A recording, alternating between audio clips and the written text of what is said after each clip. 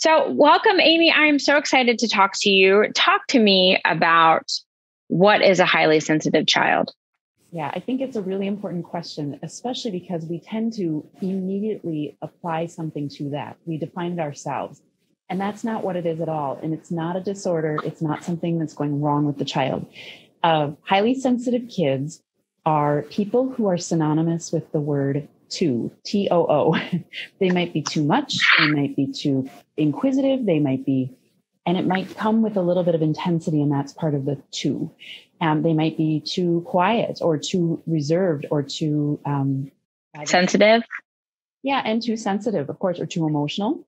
Mm-hmm. And really, what's going on there um, is they are children who are so primed with a, a different nervous system than other people have that they if they get separated from their knowing i'm going to say that big picture thing they are in trouble.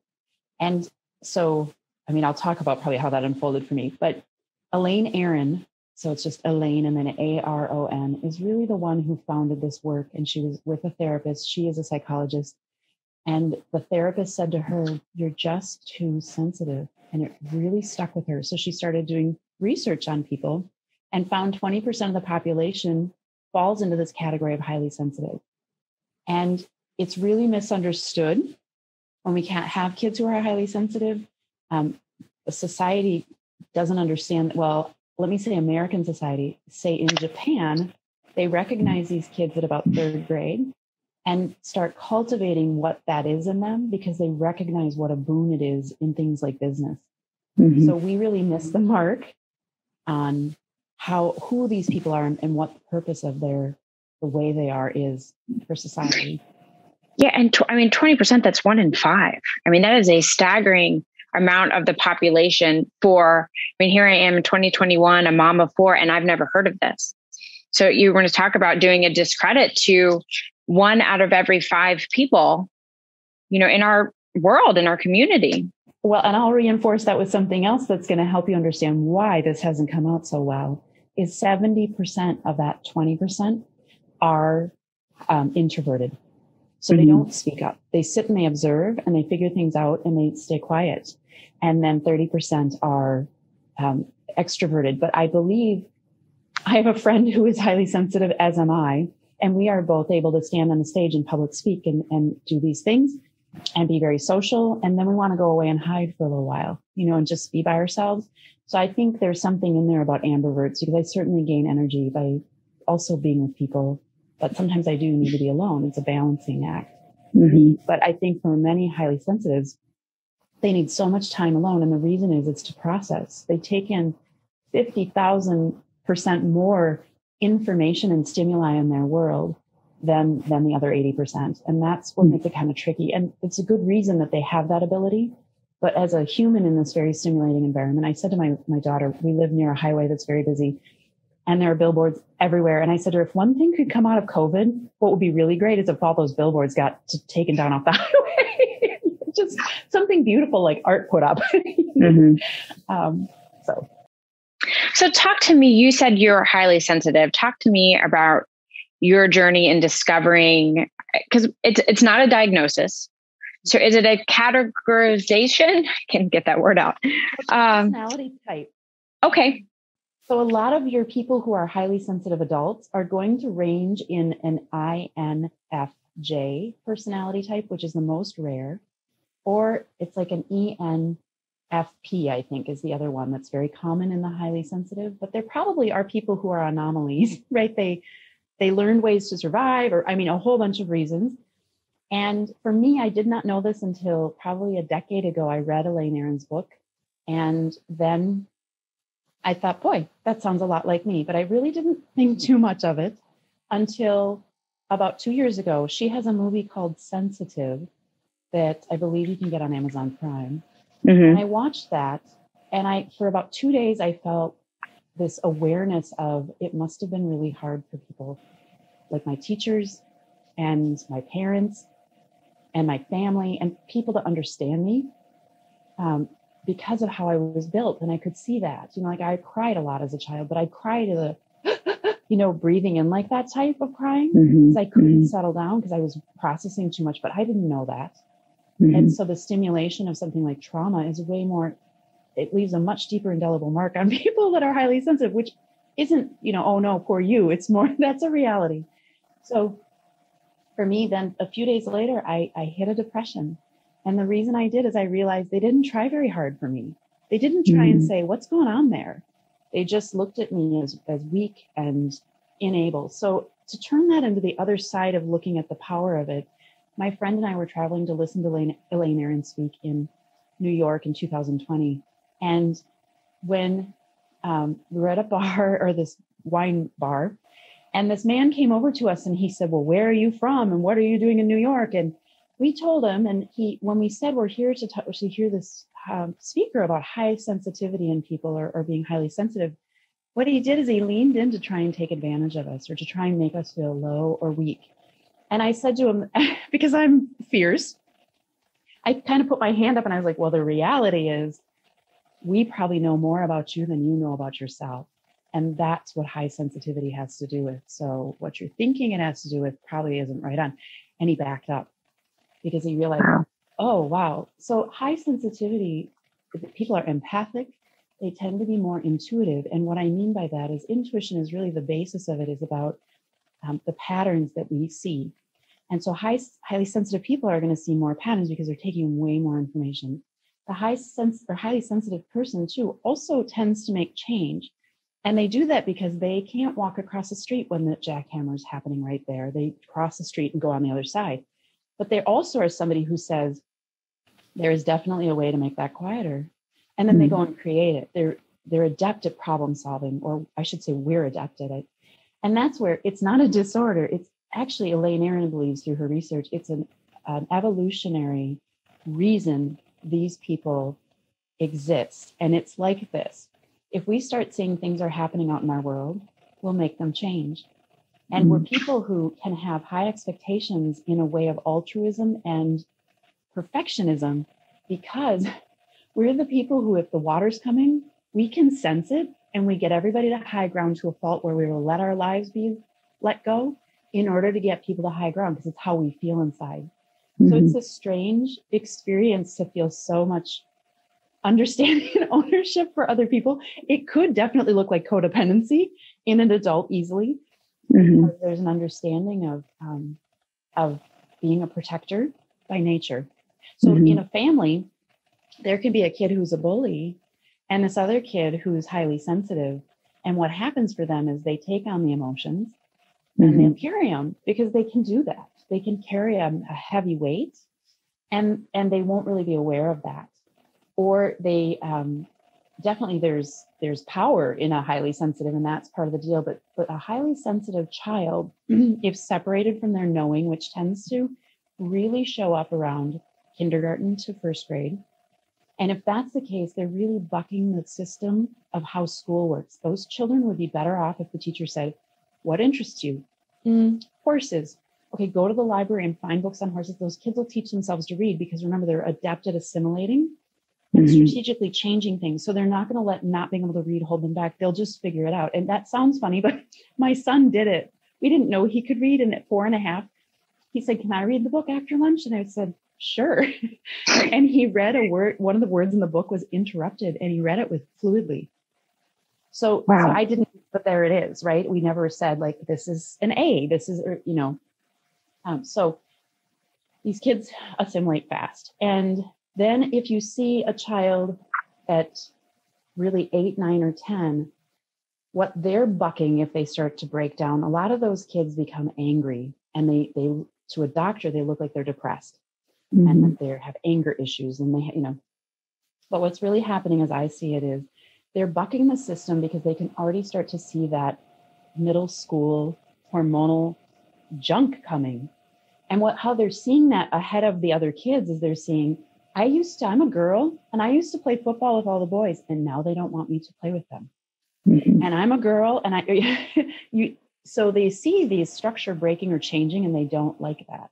Because mm-hmm. they the another piece that's a bit synonymous with a highly sensitive is this sense of equality. There's no hierarchy in them. So when I've taught classes to young students, I say, please call me Amy, not Mrs. Vasterling. And and that's important. Like that feels right to me because mm-hmm. it's my nature as a highly sensitive person. There's no hierarchy. You're, we're equals. Let's get in this together. Let's collaborate.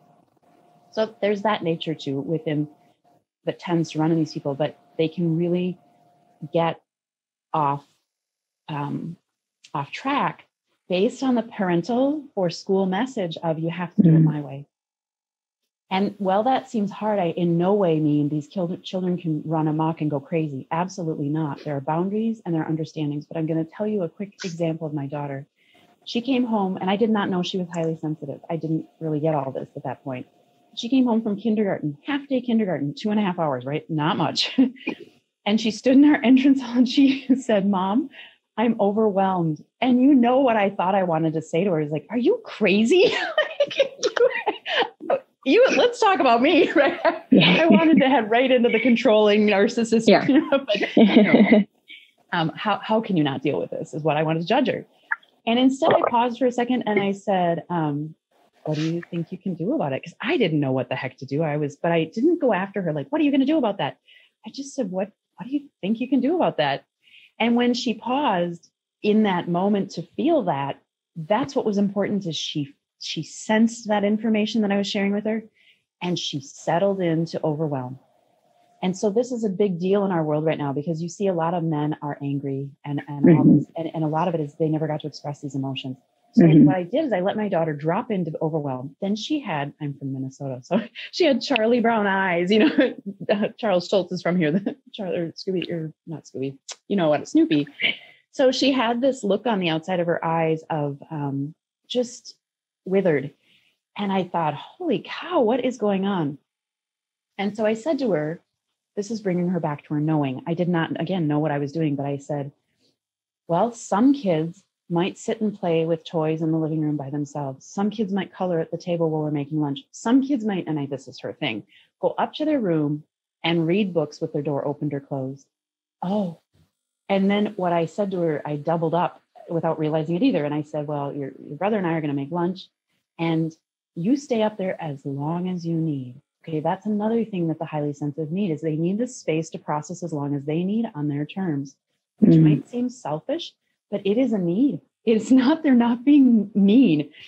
And so as a result, I said to her, We'll have your lunch out, but if we finish, we'll wrap it and put it in the fridge and you can get it whenever you can eat whenever you want. Like if she didn't eat lunch, I didn't care. That's fine. You know, she's mm-hmm. just living her life.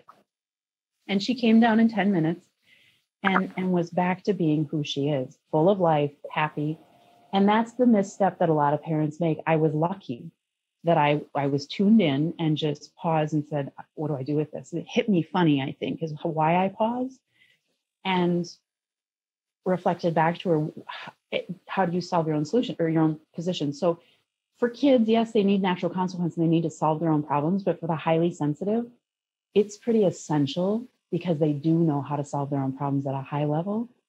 And if you keep getting in the way, they're going to become angry, frustrated, depressed, um, anxious, because they're going to think, I don't know how to do any of this because my my internal knowing is so convoluted now. I don't even know where to begin. Mm-hmm. And I recognize that generation generationally we've kind of just started recognizing feelings in people you know that we're just started giving people space that it's more commonplace you know the way my parents grew up i mean girls boys nobody talked about you know emotions or feelings and you know it was a bucket up and there was you know the disconnect and you don't cry and and all of these things and and creating space for for all children, for all people to have their experience, to have their feelings is a really beautiful thing. You know, I loved that you said you kind of paused and had and you you saw this kind of turning in. And I think kids, highly sensitive or not, don't even know how to process whatever they're feeling. They're either told they're they can't experience it or they're wrong or it's too much or not enough or you know whatever you know they're getting back in return. And so checking in and being able to kind of tap into that that was a really beautiful intuition for you and insight. That's not nor like the commonplace. No right. So you're right. But the other piece of it is, and this is true, is what's good for the highly sensitive child is good for every child. But what's good for mm-hmm. every child is not good for the highly sensitive child. So an example of that would be if if we get angry at our child and it takes our child from 0 to 60 fast, right? They're scared. A non highly sensitive child can be brought back down to 40 pretty quickly by control or by enabling. Oh, I'll give you this treat if you do this or um, you're going to do it. They'll they'll shift. But a highly sensitive can only come down to about 59 with that. Well, that's not very far down because mm-hmm. they're processing at such a much higher rate. And so it's frustrating to them because they can't process any faster. They are processing a lot more information. So the pause is an essential piece and letting them experience their feeling and inform a decision from their knowing. My kids, my daughter went camping with a friend way out in the boondocks, and she is not, she's a city kid, and her friend is too. So I said to the mom, the other mom, if my daughter, and my daughter stepped away to use the bathroom when we were having lunch, before they left. And I said, if my daughter says we are not going to backpack into this place, we're not doing it. I said, you follow her because she is so in tune with how that sensing is that she won't fail you. Something you'll read in the paper, something happened there. Somebody got hurt by an animal, somebody, whatever. So listen to her. And the mom, the other mom was really excited because they keep a tracker on the children to know where they are at all times. And these are 20 year olds. So I'm not into that. I'm not into tracking mm-hmm. my kids, but I am into them if they sense it's wrong or something's up to stop because they are highly sensitive. It's their greatest ability is to mm-hmm. know and sense that.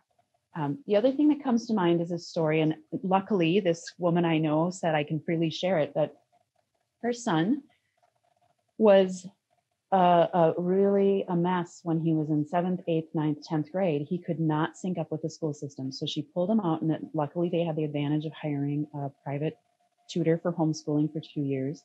And then the mom took him on for the, the third year in, t- in ninth grade. And he went back to school in 10th grade, and it was hit, it was up and down. And he, he graduated with, I swear to God, she said a 1.7 GPA. And the reason was he's yeah. brilliant. Mm-hmm. But he couldn't, he, this is odd, but he couldn't make art he couldn't do those things. So he would say to the art teacher, I'm not going to draw that thing, but I will read this 500 page book about this artist and, and give you a 10 page paper on it, right? Shoot, the teacher didn't let it. So then he'd get a bad grade. So these are the ways, and this is synonymous with the highly sensitive. Here's the deal is they know the pathway of least resistance. I have a child who, when she's been tested, she is literally brilliant in one area in her life in writing. And mm-hmm. so when it came time to get into high school, she would do the AP US history class and rock it and go out like her friends it had taken 15 hours to do this assignment that they had to do eight times during the term. For her, it had take her six because she was so adept at reading and writing, but she mm-hmm. would never do the worksheet. And I eventually let go because I realized she is changing the school system by saying, Mm-mm. and and her long-term grades are not bearing on that brilliance and ability. And she knows inside that's not moving me where I'm headed. This other big project that's very hard, she's not trying to get out of that. So she is not lazy, but she's mm-hmm. focused. And I, I, it took me a long time. I had to deal with myself as a parent a lot because it's common to say you're going to have to deal with things you don't like. But what I realized yeah. that sets you up to work for a boss who creates anxiety in you mm-hmm. because you're jumping through their hoops instead of listening and saying, here's a better way to do it. And if you're in an environment who won't listen to you saying, here's a better way to do it, let's have a conversation let's get into collaboration about this. Is that a place you want to work? So right. with my kids, I also took this position of, is that creating anxiety in you? And, and what do you want to do about that? What's it informing you about? But not to a way of like, let's look at that more.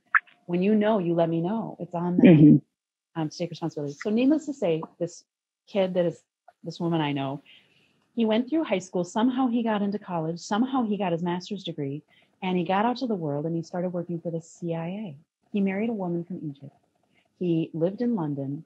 And because of this ability, this high intuition, this high pattern, pat, like ability to see patterns at a, a rare extent, he saw that I'm not going to say which one because it would out him too much, but there was going to be a conflict in the world. And he saw it ahead of time and called it out to the US government. They did not listen. And then they mm-hmm. recognized he had seen that and knew exactly, exactly what would happen. And that's exactly what happened. So they gave him some sort of an award.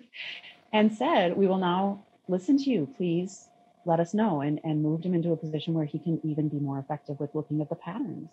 Mm-hmm. So if you feel like your kid is going to be a failure, but you can see in them they have this high ability in some area, just forget it. Just be okay with and deal with yourself as a parent because it is very challenging. And I had to go through it, and with my husband too. You know, to not be on top of the homework and you're smart enough and you're capable of A's and B's. What's happening? Um, not worth it with the long term. I mean, how many people remember what they got on their SAT or ACT? Not many. Yeah. you know, eh, eh, so did that have a lot of bearing on your life? It did when you were 17. Right. Not at 40. exactly. Who cares? Yeah. Um, so we need to think more that way because what's happening in my idea or in my mind is we have a lot of really able, capable people in a whole a range of shapes and forms in our world, and they're not actually getting to express that forward. And to me, the world is in a state we don't want it in.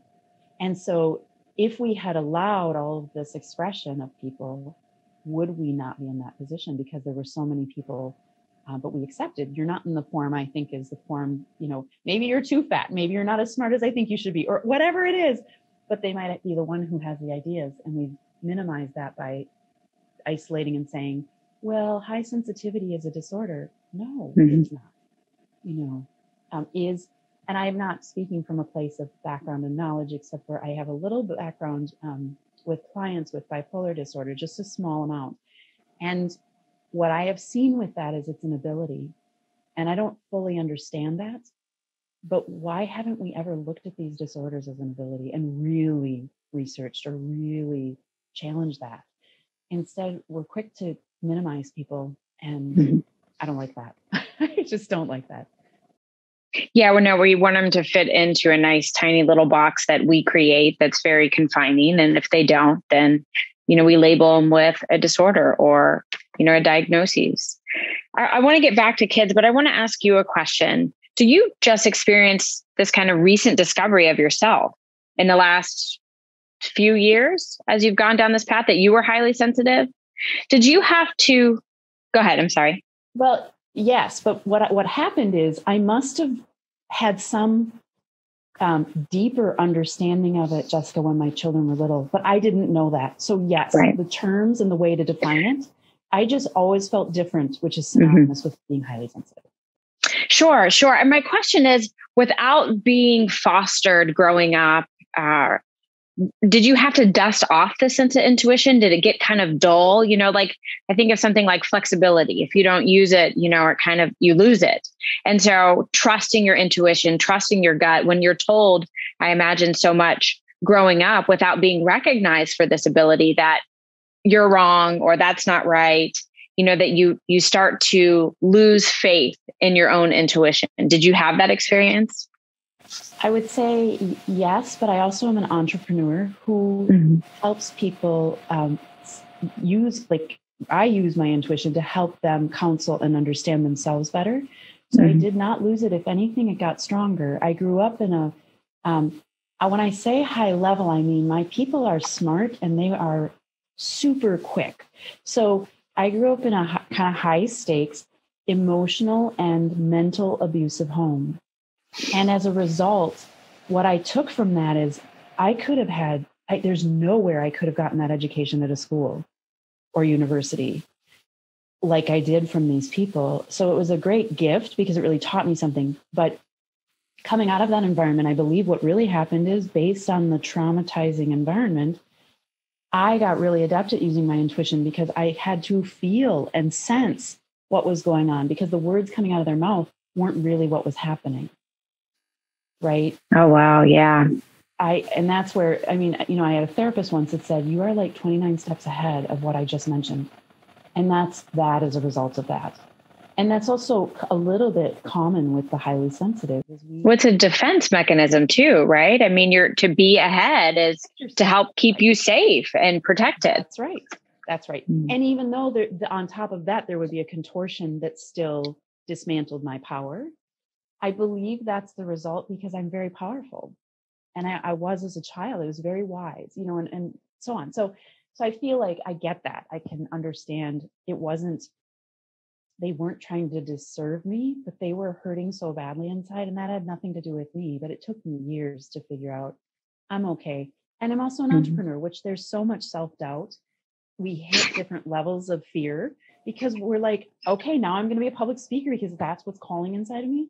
And mm-hmm. that's a whole new arena of self doubt. And then we hit this new mm-hmm. level of I'm going to write a book, or you know what I mm-hmm. mean. Mm-hmm. You're in it, Jessica. But but I think that you know entrepreneurs and um, there's one other group I think of too who you know are high creatives, artists, right? Big for self doubt, right? I can't go and sing on stage. Um, yeah, so I think that's just the nature of the job I have. So I can't say if that's as a result of being highly sensitive. The, the one thing mm-hmm. I will say is there's a book for adults called How to Make Work work for the highly sensitive. And I'm so sorry. The first name or the first name of the person is Barrie, but I cannot remember their last name or anything. But that's a way to search it, you know, of course, on Google um, or wherever you search things. And that book was life changing for me because it said mm, a highly sensitive is probably going to want to change job or jobs every four years. That's exactly what I used to do.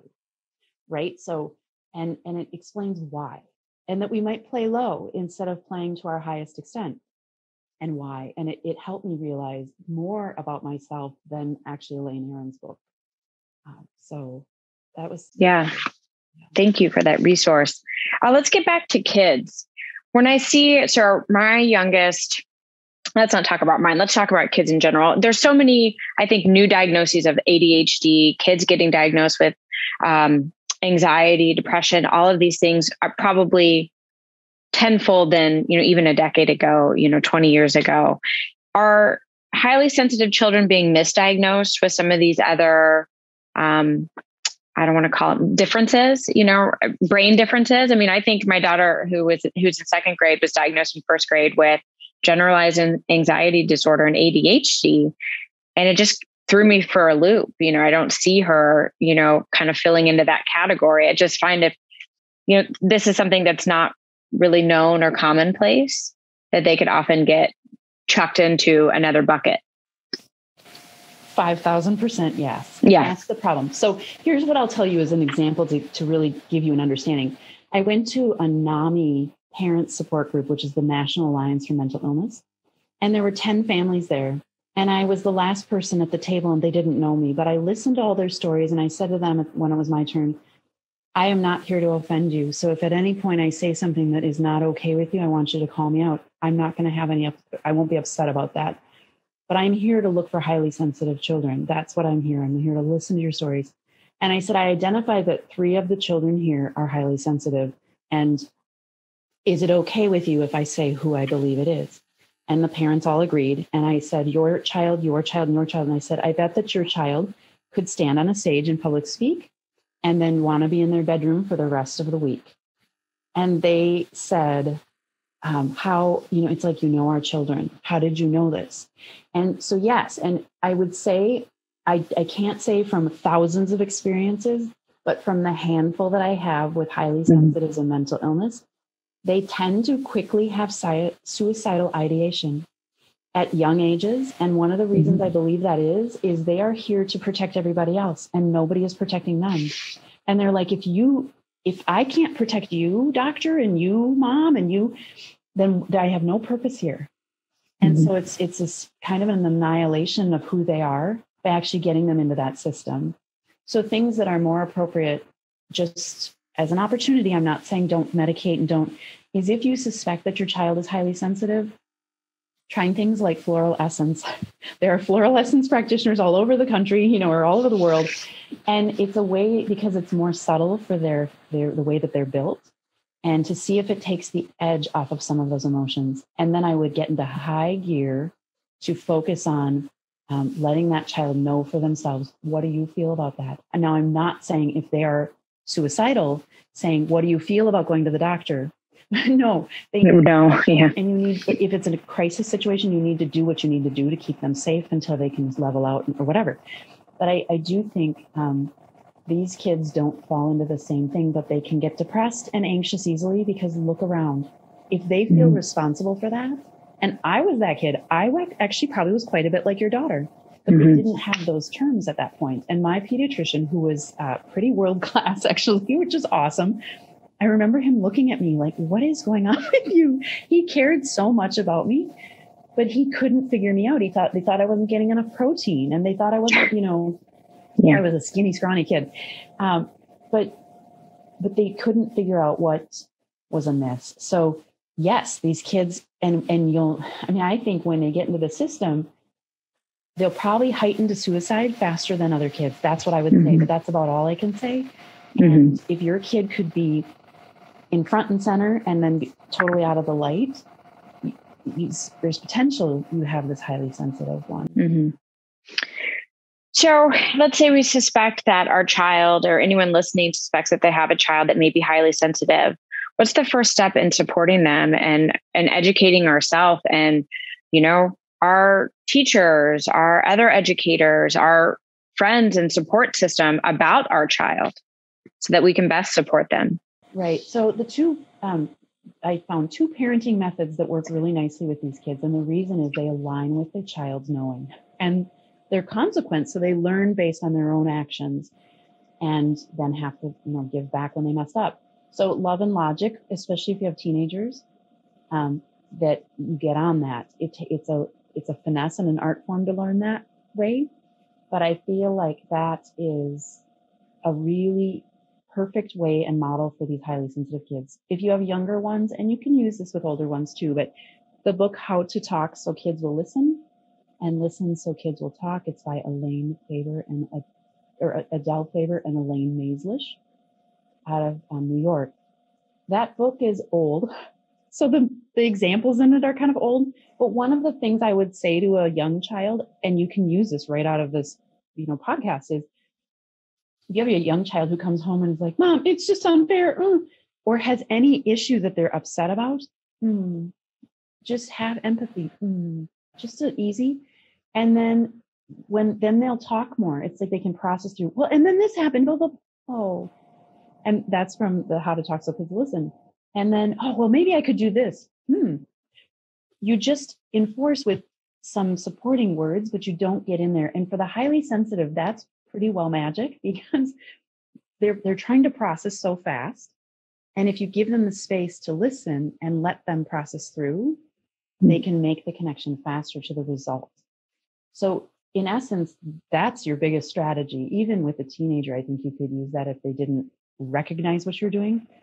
Um, but but love and logic to hold the boundaries, especially with teenagers, because they can get snarky. They're hormonal. They're, um, you know, we really want that good communication. So if you have young ones, here's what I say.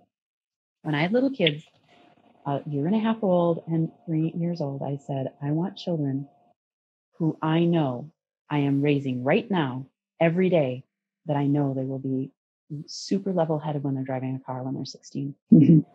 And that empowered everything that I did with my kids. And my son at 12, he was angry at me and he said, Mom, I'm angry with you and I can't speak to you right now about this. And then the next day before he went to school, I said, I really want to talk about that. Can you? He had his backpack on. He was backing up toward the door and he said, Mom, you um, frustrated me.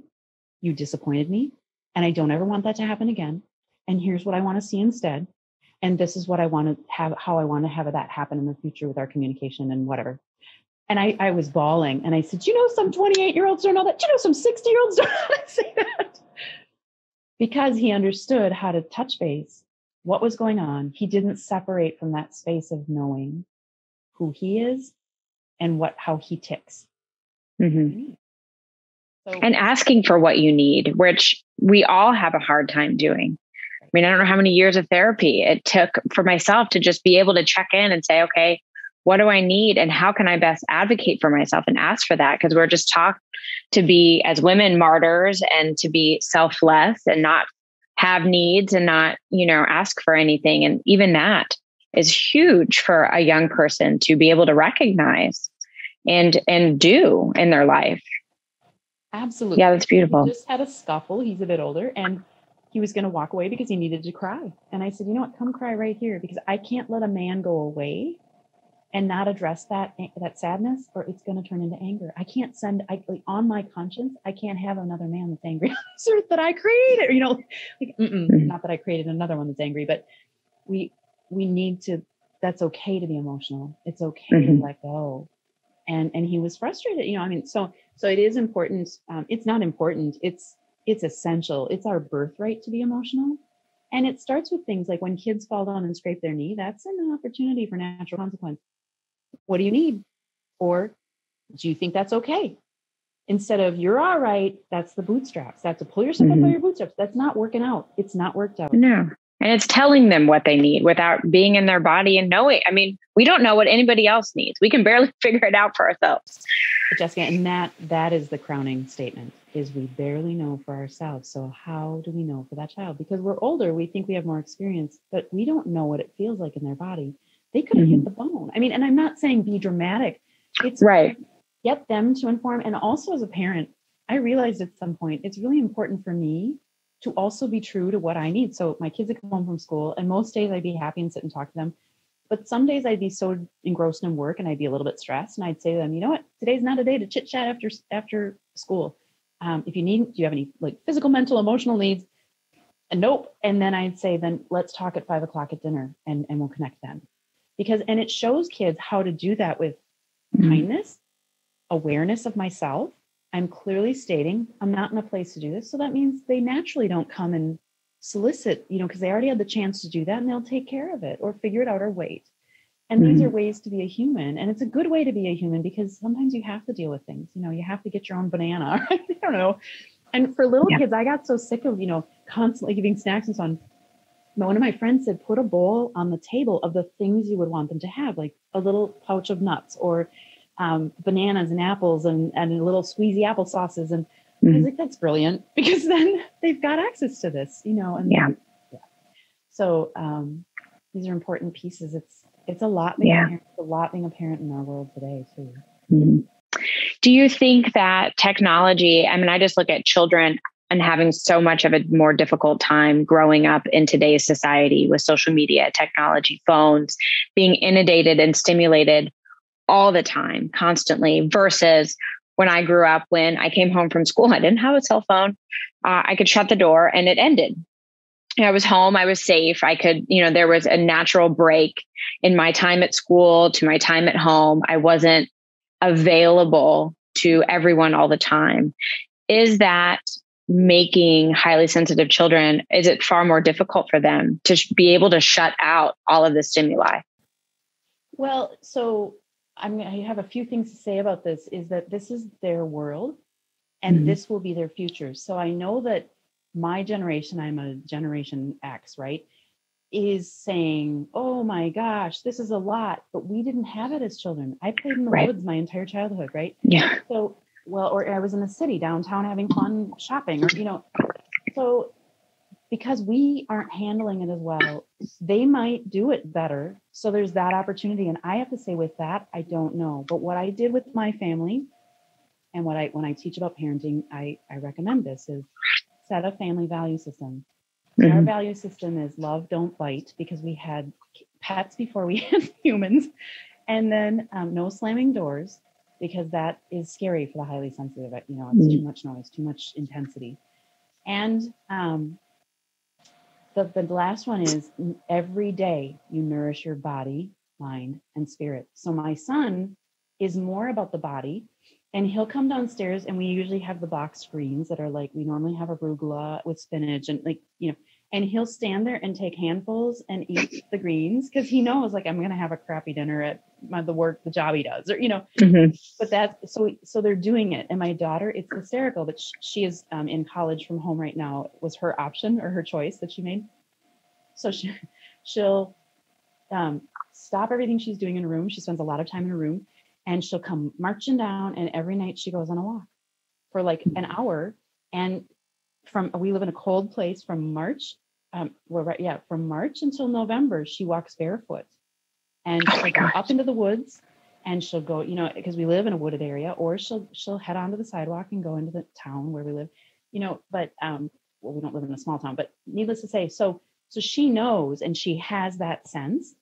And I'm more concerned about them being able to tune into that and know when they need things mm-hmm. than worry about you did too much media. Now, I did not allow my kids full access to media until the youngest one was 11. Mm-hmm. And that probably I, I, wish I could have gone further, but I think um, I just, it's just the point in which we were like, I can't, I can't manage this anymore. I felt too controlling. And I feel like my kids have done a really good job with it. My son said and I can't remember, maybe sixth grade, I'm going to try and be more social and and get out there more. And by ninth grade, he amped that up, and um, and now he has a really full and robust social life with a, a three handfuls of, of groups of people and a beautiful girlfriend. I mean, just a lovely woman or girl, woman. Um, so so there's the deal: is you give them the freedom to have choice, but if we do this thing where we're like, okay, just do have your media, and then we lash back at them, you're on media too much. That's in this parenting model that actually is very damaging to highly sensitive children. And it's the enabling and the controlling, which really at its hilt comes out of narcissism and codependency. mm-hmm. And the mm-hmm. powerful way is to be thoughtful about it. Um, you know what? We're going to let go to that. You know what? I'm going to deal with myself when you don't turn in the worksheet. It's it's more of a finesse. Um, so if kids are using it to control and sedate themselves, that's addiction. There's no mm-hmm. other way around it. And that's up to you as a parent to have said the message about reinforcing the boundaries of we like for me, we nourish our body, mind, and spirit. How does that look for you, daughter? How does that look for you, son? And um, and then they manage it and monitor it. And I see my kids doing it so on their own without being asked. But mm-hmm. what I mm-hmm. did reinforce it is when they were younger you know, how are you going to nourish your body today? Hmm. You know, so yeah, I hope that. Yeah, I, mean, I have a little bit of a different take. I think. Yeah, no, I think it's so beautiful. And you've offered up so many resources, and I will have links to all of those in the show notes. The books you mentioned. Um, are, are you doing work out in the community with highly sensitive children? You know, um, Jessica, I am. I'm. I'm just. I've thought about it a long time, and I have worked with parents through doing these counseling sessions. So that is on my website. Okay. But at the bottom of my homepage on my website, I have a colleague and she has a business called Empath Mama. And in her business is where I'm teaching the classes around parenting. Um, and, and she also has a highly sensitive child and, and they had quite a struggle. So we're championing that together, but I'm really doing the teaching around the parenting and she's really helping the parent um, who is empathic, who is this high, you know, sensitive person. Mm-hmm. And so that's where you can find. But right now, I think on the 13th of, well, let me think, the 17th of May, I believe we're hosting a free class, and she has a few of those coming, and then she's moving that into a membership. So if it's reasonable, it's 24 bucks a month. Yeah. But that's where you can find the work. I can't do it all under the umbrella of my business. So. For sure. Awesome. Well, we will definitely put links to all of that and I will get this podcast out before then so people maybe can sign up for that free class. This has been so enlightening and really just understanding. I think it comes down to understanding, you know, we're all different and we don't know what's best for another person. And you know, especially as parents, I think we need to recognize that our children are different from one another. They're different from from us. Our experiences are different from when we grew up to how they are. And that you know, giving a platform to really see our children for who they are and accept them for who they are, if they're highly sensitive or not, or whatever they're working with, and just being able to let them flourish and grow. And we need it. We need it more than ever. Yeah. yeah, we need we need some change makers out there for sure. we do. Awesome. Amy, thank you so much for your time. Is there anything that we skipped that we needed to get to? I think we no, I think we knocked it out on your end. So thank you, Jessica, for having me. And great, you have so many wonderful stories and just insight, and I'm excited to see how this continues to grow and spread the word. And um, I will send you the link to the podcast when it gets out, so you can share that as well. Okay, thanks so much. I appreciate that. Thank you. Have a good, a beautiful day. Yeah, thanks you too. Bye.